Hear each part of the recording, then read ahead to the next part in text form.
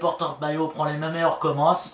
Alors maillot jaune, monsieur euh, comment euh, Garen Thomas.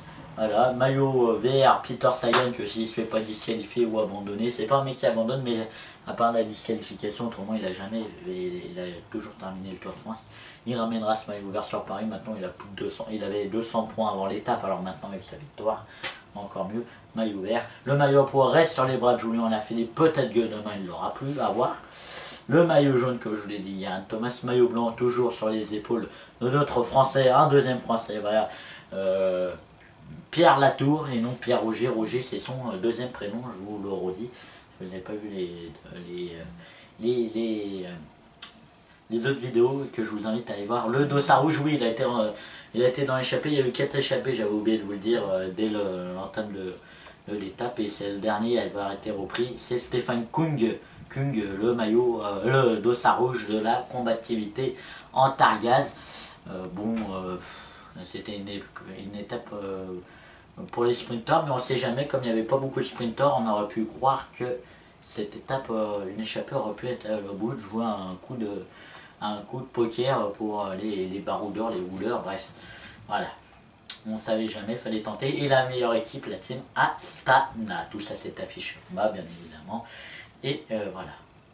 Je me suis trompé tout à l'heure sur des marques dit qu'il gagne une étape. J'ai envie tellement qu'il gagne une étape, mon petit Arnaud. Euh, que je crois qu'il gagne un peu bête bête. Hein. Bref, euh, on va voir le classement de l'étape. Donc euh, victoire de Peter Sagan, bien évidemment. Deuxième Alexander Christophe, troisième Arnaud Desmar. Quatrième John de Econ. Greg Van qui a fait le sprint bizarrement. Cinquième. Yves Lampard aussi sixième. Magnus Kornielsen septième. Andrea Pasqualon huitième. Sonny Colbrelli neuvième. Et Taylor Finet dixième. Voilà. Euh, pour euh, ce euh, classement de, de cette étape qui était précisé trop court. voilà. pour le classement. J'espère que vous allez tous très bien. Aujourd'hui, on se retrouve pour le débrief de la 13e étape. J'ai pas pu la faire hier le débrief, donc je vous en parler quelques mots. Une doublée de victoire d'Yann Thomas après la victoire de avant-hier. Bon, pas très logique. Je trouve que Romain Bardet a attaqué 5 ou 6 fois. Bref, il s'est fait reprendre bizarrement. Alors que c'était des attaques sèches deux trois fois au moins des bonnes attaques sèches. Alors je suis désolé, il n'est pas un peu dopé, je vais le redire, je suis un peu énervé contre cette euh, équipe Sky. Christopher Froome qui se fait taper, bien fait pour sa gueule. Et Vincenzo Nibali qui abandonne à cause d'un spectateur. Donc je suis désolé, ce tour devrait euh, est un peu bizarre. Et en plus, Vincenzo Nibali aurait dû gagner l'étape hier, à mon avis, si il ne se faisait pas tomber les temps en jambes. On le voyait euh, vouloir attaquer. Il ne l'avait pas encore fait, mais je pense qu'à ce moment-là, il allait le faire. je sais pas.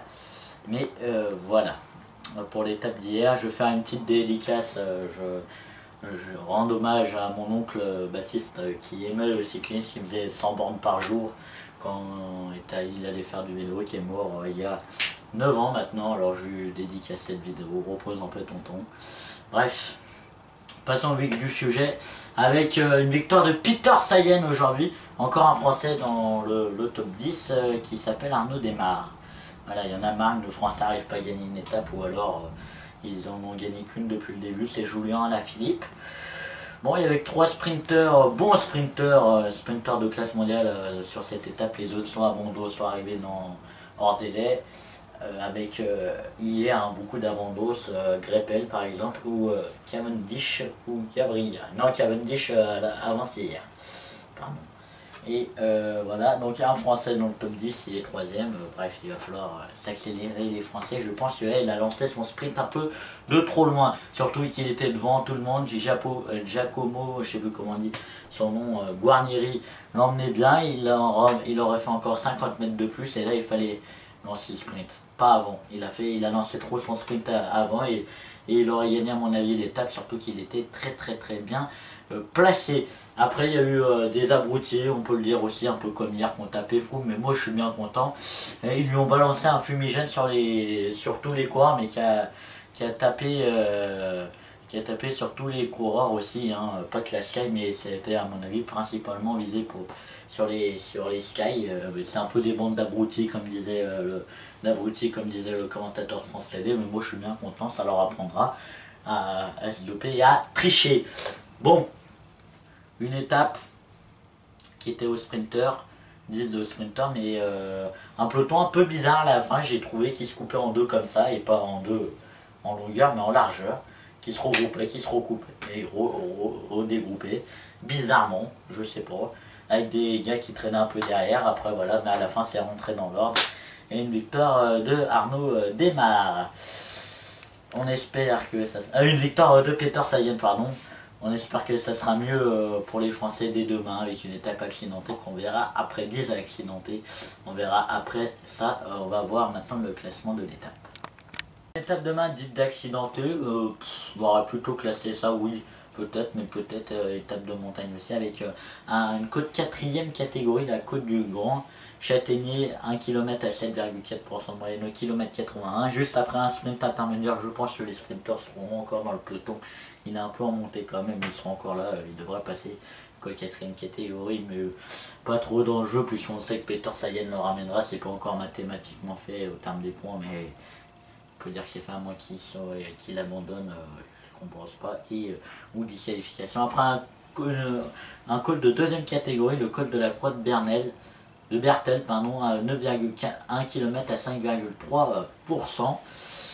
Et euh, un col troisième catégorie, oui là c'est un col et pas une côte, le col du pont sans eau à 3,3 km à 6,3% et à l'arrivée en altitude on peut dire, enfin ça va rouler un peu après le col, mais bon c'est un peu une arrivée en altitude, moi je vous dis. Euh, bon, le, le, col deuxième catégorie au kilomètre 119, troisième catégorie au kilomètre 142. Euh, et euh, l'arrivée à une étape de 188 km, la côte sera à la fin. Une, la colle, oui, une côte là de Croix-Neuve, de, deuxième catégorie. Une côte de, à 10,2% de moyenne, alors ça aura plus classé comme un mais je sais pas, à, de 3 km et après c'est l'arrivée. Une étape promis à mon avis au puncher, voire au grimpeur. Peut-être qu'il y aura des attaques entre favoris, malgré que sans doute la Sky remportera encore une fois ce Tour de France entre Karen Thomas ou Christopher Froome. Euh, bon, sur cette vidéo, c'est tout ce que j'ai à dire. L'étape de demain, j'ai oublié de vous dire, c'est entre Saint-Paul, Trois-Châteaux et Mende. Voilà, les amis, j'espère que cette vidéo vous aura pu mettre un maximum de likes. Abonnez-vous, commentez la vidéo. Salut, à la prochaine, pas dit.